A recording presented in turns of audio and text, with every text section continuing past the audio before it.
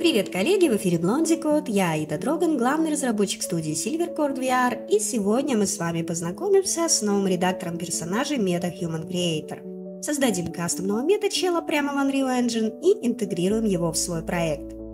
Первым делом установите Unreal Engine версии 5.6, если вдруг еще этого не сделали. После этого зайдите в опции инсталляции и найдите в списке MetaHuman Creator Core Data. Ставим галочку напротив и жмем Apply и идем заваривать кофе, а то и варить борщ, в зависимости от скорости вашего интернета. После того, как MetaHuman Creator скачался, создаем новый проект для тестов. Я выбираю темплейту от третьего лица, чтобы весело побегать по дефолтному уровню нашим новорожденным метачелом. Шаг второй. Подключаем все плагины, связанные с MetaHuman, которые вам нужны для работы, и обязательно MetaHuman Core Tag и MetaHuman Creator. Соглашаемся с тем, что в бета-версии мы не такое видали. MetaHuman Runtime на самом деле можно было не включать, он устарел и никак не влияет на работоспособность редактора MetaHuman, но для этого надо было почитать описание плагина до записи видео. А тараканы в моей голове и так перегрузились новыми знаниями. Перезагружаемся. После того, как перезапустили редактор Unreal Engine, находим в контенте папку Characters, куда будем складывать своих персонажей или создаем свою. В этой папке кликаем правой клавишей мышки в пустое место, находим раздел MetaHuman и выбираем MetaHuman Character. Даем оригинальное имя своему персонажу и кликаем на созданный ассет два раза. И о чудо! Перед нами редактор MetaHuman прямо внутри Unreal Engine. Если редактор просит что-то там заинаблить и рестартнуться, ни в чем ему не отказываем. Когда редактор в очередной раз стартовал, а ваша очередная кружка кофе остыла, снова заходим в MetaHuman Creator. В самом деле, когда MetaHuman нужно было создавать на сайте, да еще и ждать своей очереди, чтобы подключиться к редактору, было гораздо хуже. Так что запасаемся терпением и попкорном. Оно того стоит. Итак, узрите редактор метачелов, где я наконец-то создам самого красивого мужчину на свете вот из этого пресетика. И Unreal Engine упал. Давайте дружно загибать пальцы, сколько раз это произойдет на RTX 3090. Что самое интересное, на моем стареньком ноуте GTX 1060 редактор сказочно тормозил и жаловался на недостаток видеопамяти, но но ни разу не вылетел за время создания целых двух персонажей. Пишите в комментариях, кто на какой карте тестировал и сколько раз перезапускался. Будет интересно сравнить. А мы снова возвращаемся к самому прекрасному мужчине на свете по имени Брюс. И на этот раз боги видеопамяти к нам благосклонны, так что продолжаем знакомиться с редактором. Камера стандартно управляется мышкой. Левой клавишей крутим камеру, колесико вперед-назад для зума. Можно выбрать качество отображения текстур, среднее, высокое или эпичное. Можно автоматически установить камеру на лицо или на тело, или вообще посмотреть на персонажа издалека. Если выбрать авто, то можем сами решить, насколько близко будет камера. Можем также выбрать освещение. Это, кстати, знакомые пресеты освещения из старой демки от MetaHuman, и лично мне они очень нравятся. Но учтите, что все, что мы сейчас делаем, происходит на серверах Epic Games, а не локально. Поэтому освещение и другие визуальные эффекты в редакторе MetaHuman носят исключительно декоративный характер и не переносятся автоматически в вашу игру. Также можем поменять topology и увидеть, как выглядит лицо персонажа без текстур. Окей, теперь мы готовы к кастомизации. И здесь редактор MetaHuman приготовил для нас море вкусностей. И начнем мы с прекрасного тела нашего Супермена – а чтобы лучше видеть, что у нас получается, ставим опцию Hidden на его одежде. Вот такой у нас прекрасный животик. Обратите внимание, какие реалистичные тела у новых MetaHuman и насколько они разные. В старом редакторе было всего по три типа телосложения для каждого пола и три разных роста. Здесь нам завезли опцию Blend для тела, и мы, конечно же, ей воспользуемся. Выберите до трех разных тел и в нужной точке смешивайте их между собой. В центре оригинальный референс. После каждого бленда почему-то снова появляется одежда, но это не беда. Вы можете манипулировать разными точками на теле, пока результат вас не удовлетворит. На лице тоже есть аналогичный blend с другими лицами, а есть кое-что покруче. Sculpting. Можно буквально вылепить персонажу новое лицо. И я ни разу не трехмерщик, поэтому делаю, что могу во имя красоты. А вы можете писать в комментариях, насколько круто у меня получается. Во вкладке Hair ожидаемо можно найти прически, брови, ресницы, усы и бороды. Здесь, по-моему, ничего нового не появилось. Это все те же фирменные прически MetaHuman. Но мне тут подсказали, что прежде чем скульптить подбородок, неплохо бы убрать бороду. И вместо того, чтобы убрать отображение груминга, как это делают нормальные люди, там же, где мы убирали одежду, я выбрала другую бороду и продолжила наводить красоту. И знаете, что произошло? Unreal Engine покарал меня за мое чувство прекрасного и пришлось загружать редактор снова. Но не беда, мы здесь уже все знаем. Быстренько заходим в редактор персонажа и продолжаем двигаться к мечте. И если вдруг вам стало скучно, смело мотайте вперед, потому что мы с Брюсом только начали разогреваться.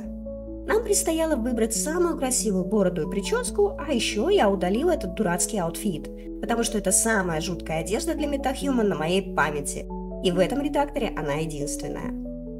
Волосы на груди нам кастомизировать не дают, а очень жаль.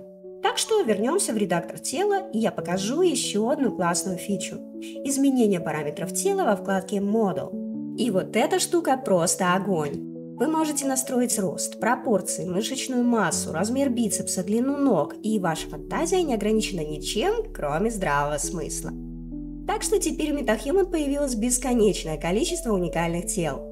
Если бы на теле тоже была возможность скульптинга, было бы еще круче, но может позже и это появится. А пока вернемся к грумингу. Выбираем прическу. Здесь ничего нового, поэтому я возьму свою любимую тестовую прическу, которую моя мама именует Мальвинка и какие-нибудь бровки с ресничками, подходящие этому образу. По-моему, уже неплохо, но не хватает цвета. Цвет волос можно менять во вкладке Details, и здесь стандартные для MetaHuman настройки волос. Можно их покрасить, а можно просто настроить меланин и redness. Парикмахеры-колористы вошли в чат, и они нам подсказали, что волосы нужно обесцвечивать, прежде чем окрашивать в яркие цвета. Настройка волос в редакторе MetaHuman довольно продуманная и легко понятна интуитивно. Нужно только знать, что чем больше меланина, тем темнее волосы, а чем больше redness, тем они рыжее. Для блонда максимум redness будет желтым, а на волосах с максимальным меланином, то есть жгучий брюнет, эффекта вообще не будет видно. Чем сильнее вы обесцвечиваете волосы, убавляя меланин, тем ярче будет цвет окрашивания. А еще можно настроить омбре, милирование, блеск волос и седину. И, конечно же, усы и бороды красятся отдельно, так что в этой вкладке точно стоит задержаться подольше. И последнее, что мы будем настраивать, это кожа персонажа, вкладка Materials. Здесь вы можете настроить тон кожи, родинки, веснушки, морщины, текстуру кожи на лице и на теле персонажа. На вкладке Eyes можно изменить цвет глаз, а на вкладке Makeup добавить макияж. Там же можно настроить зубы персонажа вплоть до степени их кривизны и цвета зубного налета – и после того, как вы сохраните свои настройки лица метачелом, можно его заригить. Нажимаем на кнопку Create Full Rig, и после этого, возможно, Epic Games предложит вам продать свою душу. Обязательно соглашайтесь, потому что этот редактор точно того стоит.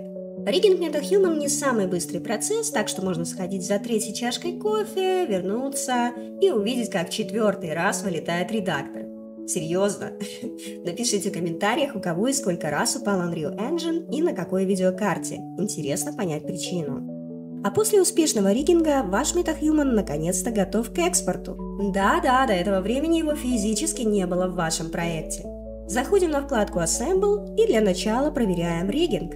На боковой панельке справа можно выбрать анимации для лица и для тела, чтобы посмотреть, как ваш персонаж выглядит в движении. Актер, который записал для нас эти эмоции, определенно мастер своего дела. Хотя, возможно, это были разработчики MetaHuman, которые пытались нам передать секретное послание о том, что их уже несколько лет не выпускают из подвала. В любом случае, Брюс чувствует себя прекрасно и готов скрасить вашу кофе-паузу и растянуть хронометраж этого видео. Это были не опята, не опята, не опята. Это были не опята, не опята. Это были, это были не опята, не опята, не опята. Это были не опята, не опята. Это были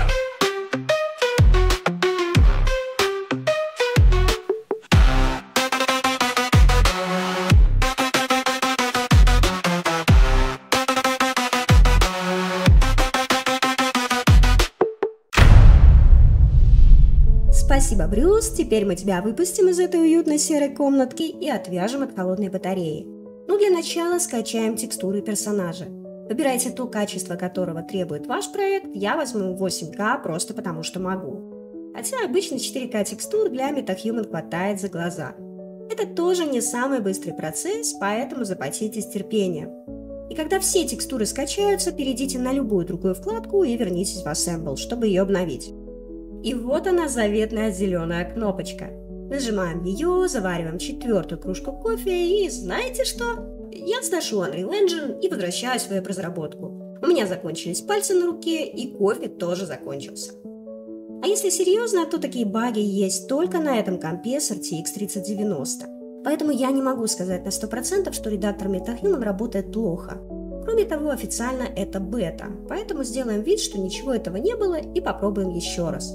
После того, как персонаж будет скачан, у вас появится папка MetaHumans в проекте, в которой будет находиться скачанный MetaHuman. И теперь вы наконец-то сможете использовать его в своей игре. Сейчас я покажу вам, как быстро вставить MetaHuman вместо стандартного персонажа в темплейте Third Person, но вы пообещаете мне никогда так не делать, потому что в нормальном проекте у вашего MetaHuman должен быть собственный Animation Blueprint. Но для того, чтобы красиво завершить видео, мы просто возьмем стандартного персонажа, откроем его Blueprint, вернемся в Blueprint метачела, скопируем все его внутренности, включая компоненты, а затем быстро вставим это в капсулу стандартного персонажа. После этого копируем позицию меша стандартного персонажа и вставляем ее в межбоди метахьюмана и аналогично поступаем с поворотом меша, чтобы оба тела слились воедино. Как бы странно это ни звучало для тебя, YouTube, но мы тут заняты программированием. А затем переходим в Construction Script и добавляем одну единственную волшебную ноду – Set Laser Pose компонент. В качестве таргета указываем body, а в качестве New Leader Bone компонент указываем меж стандартного перса. И вместе с Body не забудьте подключить Face, чтобы голова MetaHuman не отвалилась от тела. И посмотрите, что произошло. Меж MetaHuman идеально повторяет анимацию меша стандартного болванчика. Все так просто. Magic. Осталось только скрыть исходный меж, поставив его свойство Visible False, и можно запускать сцену. Однако, если запустить игру сейчас, магия не случится, потому что я забыла одну важную деталь. Мы скрыли исходный меш, но не установили опцию для его анимационного тика, который просто остановился. Измените опцию Visibility Based Anim Tick на Option Always Tick Pause and Refresh Bones. И вот теперь точно все получится. MetaHuman бегает по сцене, редактор больше не вылетает, а я заслужила лайк и какой-нибудь добрый комментарий. Надеюсь, это видео было полезным. Создавайте своих метачеликов, добавляйте их в свои игры и никогда не собирайте незнакомые грибы. Благодарю за внимание и приятного вам программирования!